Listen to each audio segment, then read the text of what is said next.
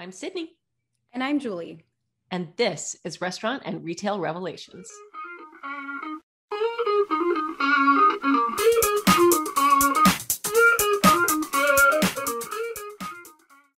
Welcome to Restaurant and Retail Revelations, a podcast spotlighting movers and shakers in the restaurant and retail industries, brought to you by Revel Systems, provider of the leading cloud POS platform on the market.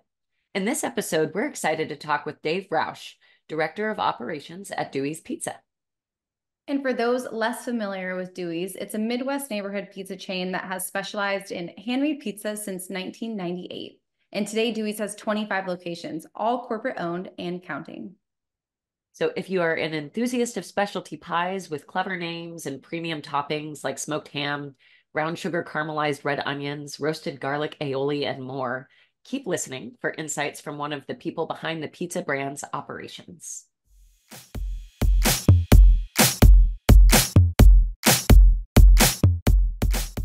Dave, thank you so much for joining us on the podcast today. Well, thanks for having me. I look forward to it. And just, you know, right off the bat, I'd love to kind of get your take on what sets Dewey's apart from other pizza brands in a competitive marketplace.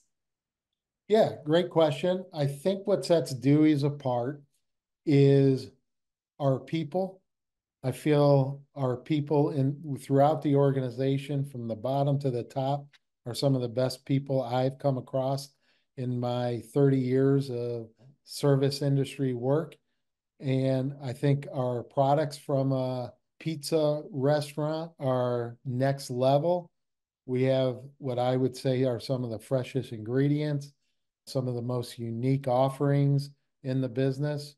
And, you know, one thing I'm proud of is we don't own a freezer in the organization. I would say the other thing that sets us apart is our partners that help make Dewey's Pizza successful. We guide ourselves on our purpose and values, and we look for that when we are partnering with other companies uh, such as Revel. We spent several meetings in St. Louis and Ohio, and we even had a meeting in Dallas with the Revel team um, and vetted them out and used our purpose and values and felt aligned with Revel.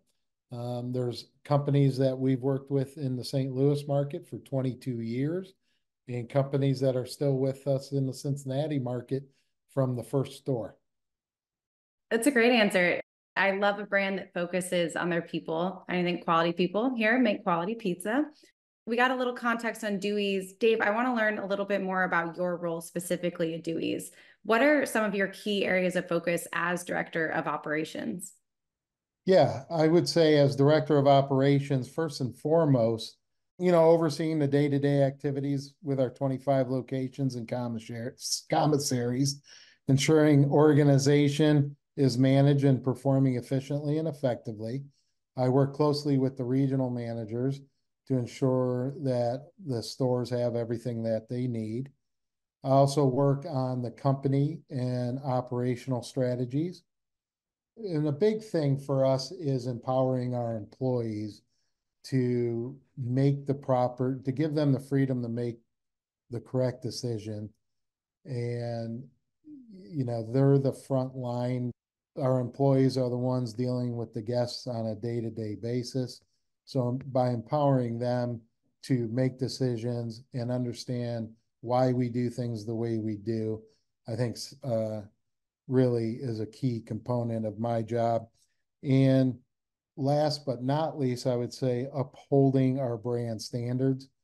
Uh, over the last 25 years, customers have come to expect next level product from us, just in the service, hospitality, and pizza that we serve. So, yeah, that's a ton of details to to factor in, and it's especially tricky balancing the amount of control that you maintain and then trusting that you've hired the right folks to carry out this vision that's that's a big role. And so i'd actually like to learn a little bit more about how you found your way to dewey's pizza.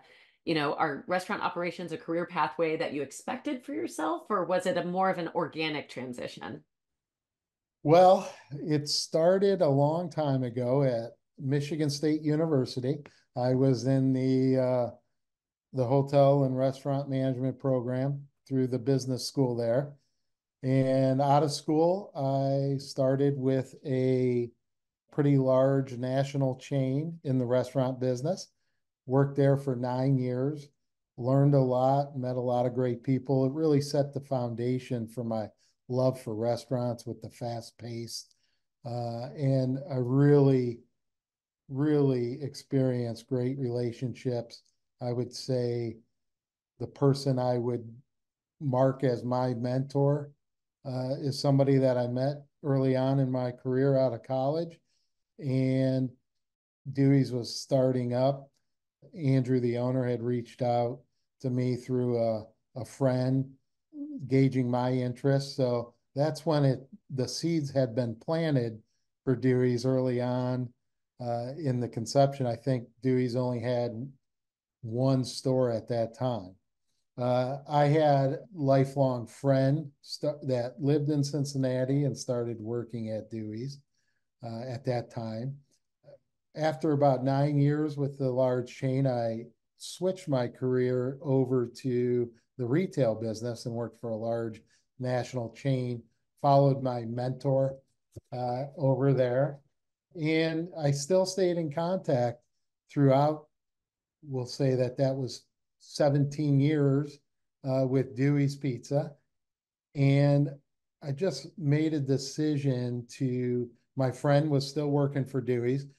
So I came out to the St. Louis market and actually worked a shift or two with him. And what I did in that time was really focus on the employees. Being in restaurants for nine years, I wasn't worried about how to make pizzas or anything like that. I was really wanted to focus on the culture. Uh, so I interviewed every employee at the store, just not sit down interview, but talk to them and probably spoke to 30 to 40 guests as they were leaving. And I was just blown away by the following and the culture that the employees spoke so highly of Dewey's and the customers spoke so highly of Dewey's and the pride that everyone took in servicing those customers. It almost felt like it was everything that my first restaurant job was missing.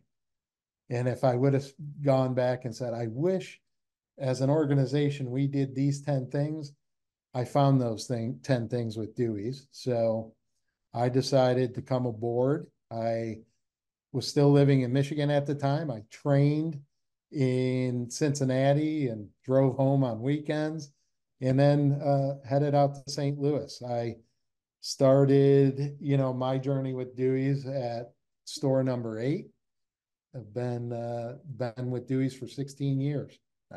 Wow, what a great story. And I think it's proof that the right mentorship and the right friendships can really go a long way and you know your career trajectory and where you end up they really matter. And dave i assume that something that makes your life a little easier as director of operations is that all dewey's restaurants are company owned rather than franchised. So how do you feel that this uh, company owned model benefits the brand and the guests as well? I think my first job was franchise. The large chain that i spoke of uh, did franchising. And what I appreciate about the company owned side of it is the alignment and control over all aspects of the business. The employees aren't hearing different things uh, because it's a franchise. Every person in our organization, from the dishwasher to the president, have the same goals when in a building, and we follow those goals. And I think our purpose and values are a big foundation that drive us towards excellence. So our people, again, back to the purpose and values, it's common vision and lifestyle that we use these tools. Uh, in addition, the training and development that we have control over has created the culture. And I also think it has allowed us to do some things that is not really heard of in other restaurants. It's interesting in interviewing probably over 150 managers in the past five years. There's just some things that we do at Dewey's that you can't find at other restaurants. Um, work-life balance, you know, our managers, I would put up work less hours than any other restaurant business. The uh, incentives that we have for our employees, I really think are things that uh, are hard to find at other organizations. Yeah, that's awesome. And, you know, we talk a lot about people, especially within the hospitality space. It sounds like that is very much a part of what works at Dewey's, in addition to something that you guys strive for. And so, you know, on the flip side of that, something that people don't often associate with hospitality and restaurants is technology. And yet, I'm sure as, you know, director of operations, you encounter that quite a bit. So I would love to hear your perspective on just the role of technology in the day-to-day operations at Dewey's.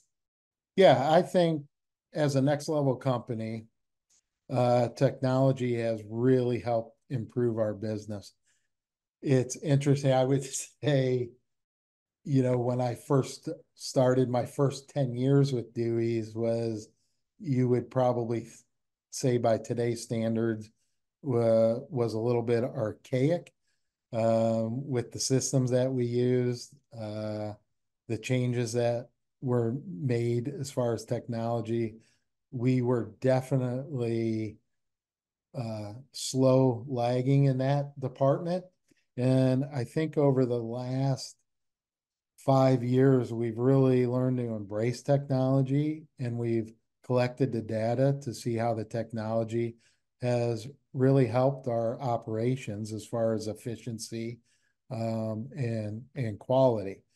Uh, so one thing that I think we've leaned into more is the online ordering systems uh, through Revel. We recently have installed the KDS system that's really helped with efficiencies as well. And we are also implementing an LMS for our learning management solutions that we think will uh, really help improve operations.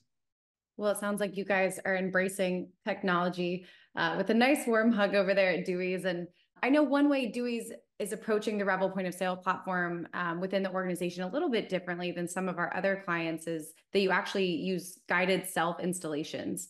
Um, I know one of your colleagues actually shared the quote that everyone in our company opened a box when referring to the actual installation, which we love. So, why is it important for your team that everyone is really included and ingrained in the installation process? I think it stems from the comfort we first had with Revel right from the beginning. Uh, we had done our due diligence and had met with several other companies. And just the relationship again going back to purpose and values we felt very aligned with revel. And you know when you you listen to the sales people you're always you always have that checkbox oh they said this they said this. And one thing that really stood out to me was the support and you know the next level support that revel would provide but one thing I really appreciate about Dewey's, and like I said before, where we were slow to embrace the technology, uh, you know, seven years ago, as a regional manager or director of operations, I wore several hats where, you know, I was the IT person, I was telling them how to reset a printer. And I think it's important for Dewey's to know the system not just use the system and then push off the issues onto Revel. So I think as from the IT perspective, they really wanted to touch the product, know the product, and be a source for our employees to be able to call for our own IT department, not just putting all of that on Revel. So yeah, I was in uh, one of our locations at midnight helping our IT department uh, get Revel installed. It was fun, and it was it was great to see their uh, growth in doing it. I think I'm well. Put it this way: I'm glad I was store twelve and not store one because they had the system down pat, and I was only there for a couple hours rather than the first couple of stores that took six or seven hours. But yeah, I think it's it was really important for our IT department to be able to touch the product and know the aspect of it. See how the cookie was made, just not eat it. There you go. Yeah, that's you know, it kind of gives a, a new spin on on the concept of a pizza party is a late night tech impl- implementation.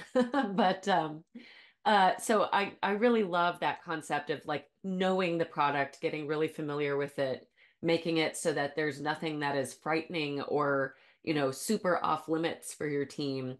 And yet, with that said, I am curious to know some of the guardrails that your team has in place to ensure that whether it's tech or or a different facet of your operations, the customer experience for both dine-in and off-premises guests is exceptional and that quality that people have come to expect from Dewey's. Yeah. and you know, that's interesting as you say both dine-in and off-premise through COVID, there there was a shift of that where, you know, prior to COVID, we I would say we're about a 60% split 60% dine in, 40% carry out.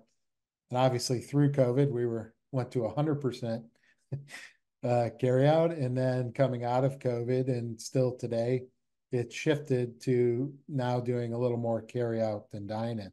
So some of the guardrails we have in place is again, when I spoke earlier about the president of the company to the dishwasher knows the goals of the restaurant.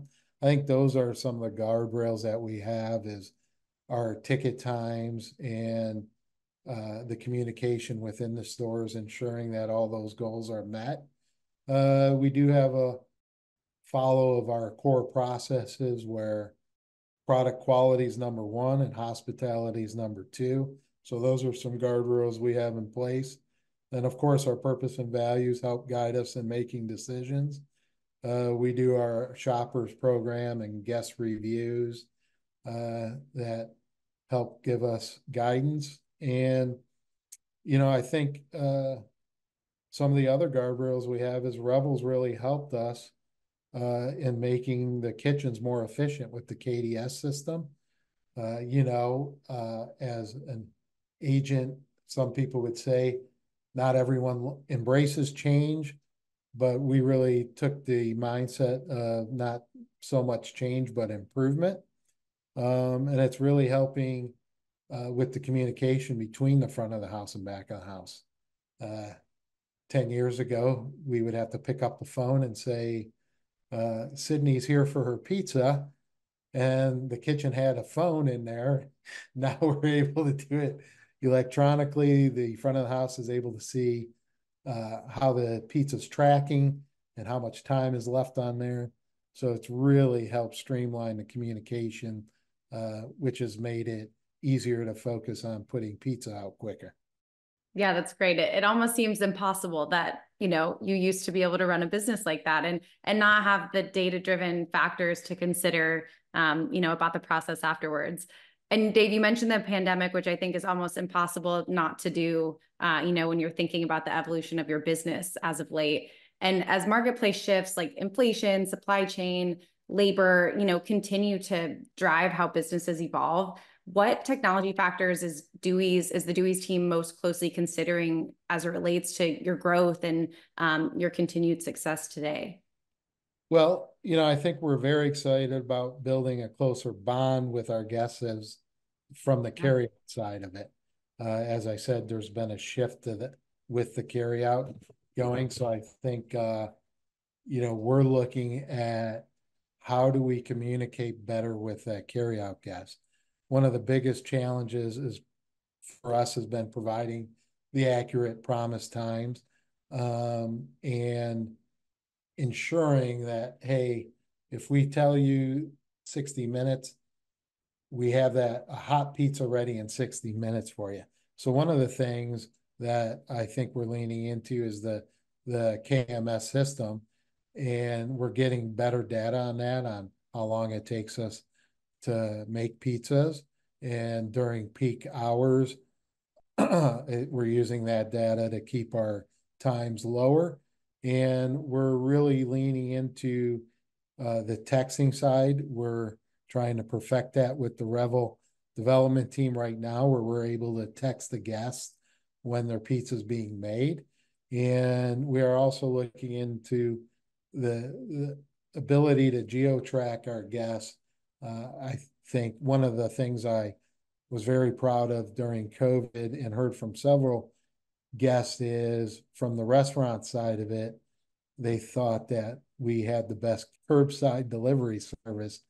Uh, and we're looking to even expand on that and improve that as one of our systems to uh, to meet the guests where they want to be met.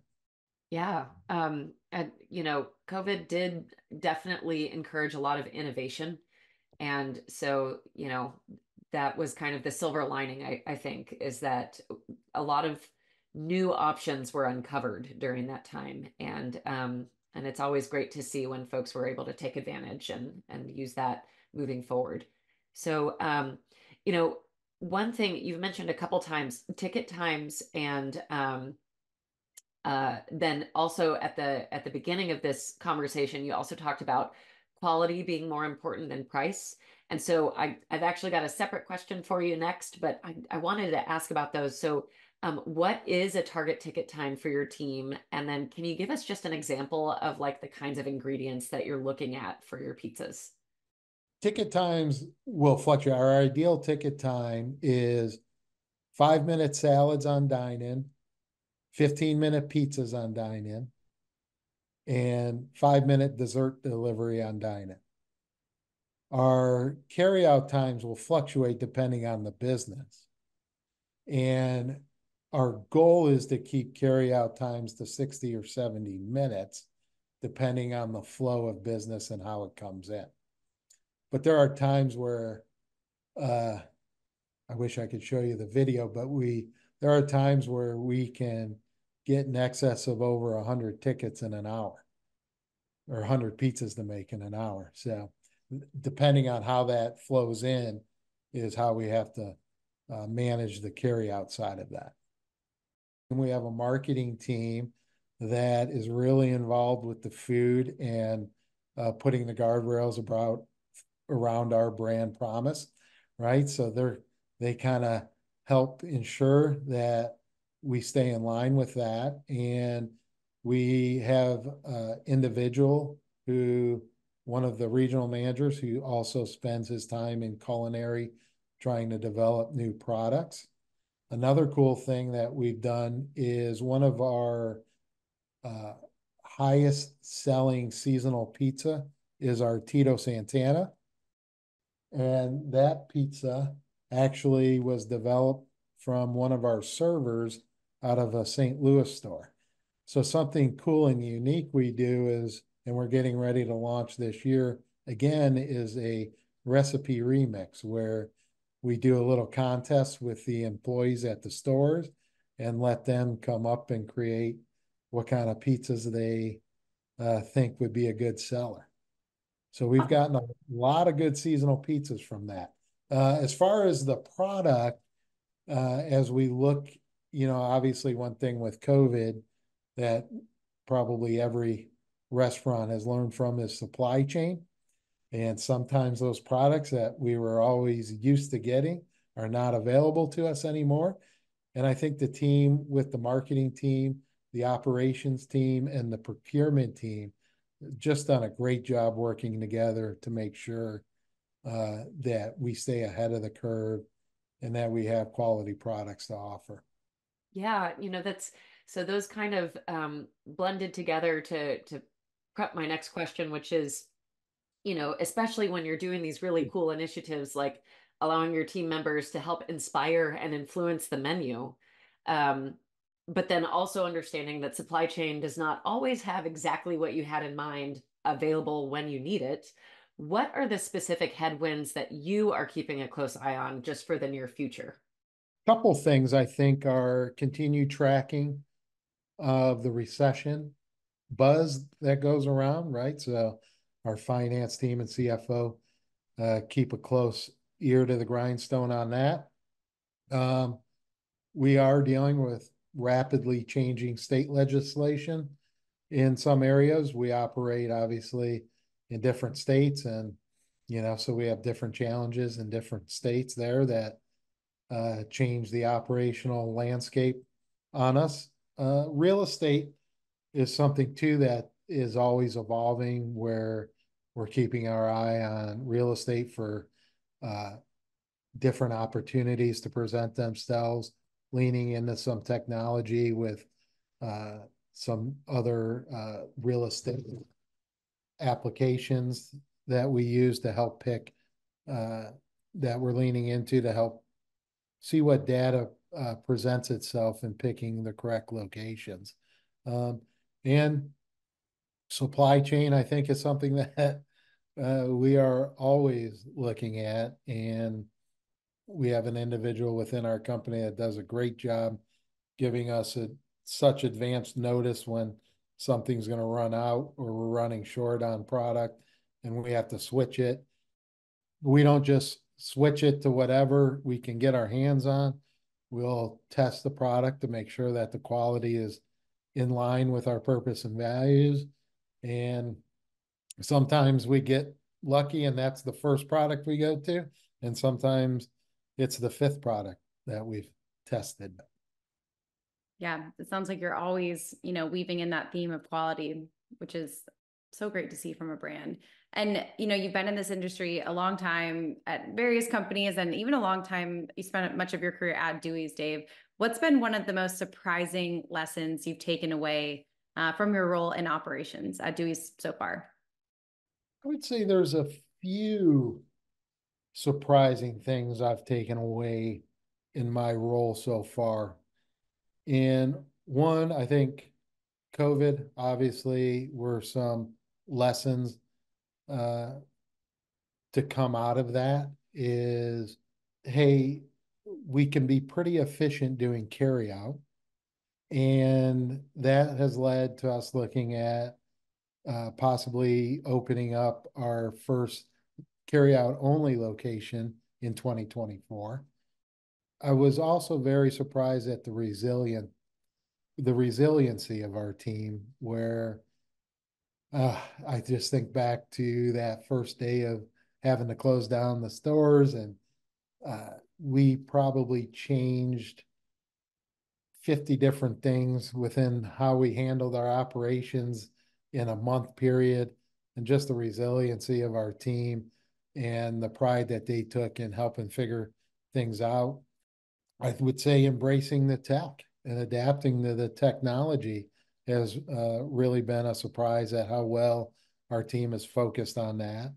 And the curbside side of it, right? Uh, I think guests appreciate that when it's cold outside and there's a light drizzle going on there that we're uh, hitting our next level promise and delivering them uh, a fresh hot pizza right there through their window has been nice. But I would also say, you know, what's been surprising is early on with Dewey's, right? There, there was the owner, the president, and one or two regional managers. And the growth that we've had over the last four years with the executive team, bringing on Chris as the head of our IT department. Uh, we have a new CFO in place. Uh, we have a great new uh, executive marketing leader and staff. And the trust that we have as an executive team is amazing. And the way that we work as a team uh, has really just inspired the belief that the foundation we have set as a company uh, will withstand any hurricane that comes our way. That is awesome. That is a great way to feel about your colleagues and about your business. Those are, you know, the kinds of reassurances that you want. And um, I don't know how many hurricanes make it to the St. Louis area, but you'll be ready if one does. So that's good to hear. So, Dave, we've covered a lot of ground today. My my last question is kind of a catch-all, which is just that before we close things out, if there's anything we haven't covered, is there something that you would like to share with our listeners? If you haven't had Dewey's Pizza yet, please make sure you make your way in and try our seasonal salad and seasonal pizza. And yeah, eat more pizza. Noted. Will do. Uh, Sydney and I will take that and uh, act on it. Dave, thank you so much for your time today on the podcast. And we really look forward to our continued partnership with you and the, the entire Dewey's team. Well, thank you for your time. It was nice meeting both of you.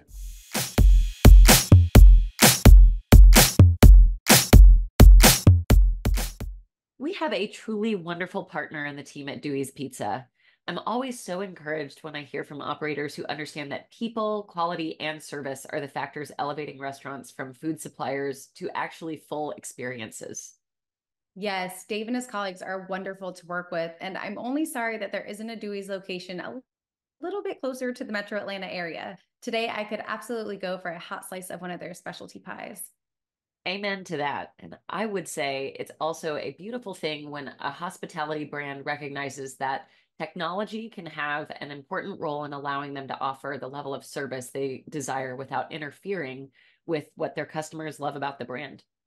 It's so true. Yeah. And with a heartfelt thank you to the entire Dewey's team and to Dave for his time and expertise on this podcast episode, we'll close things out with a reminder to Midwesterners to pay their nearest Dewey's location a visit.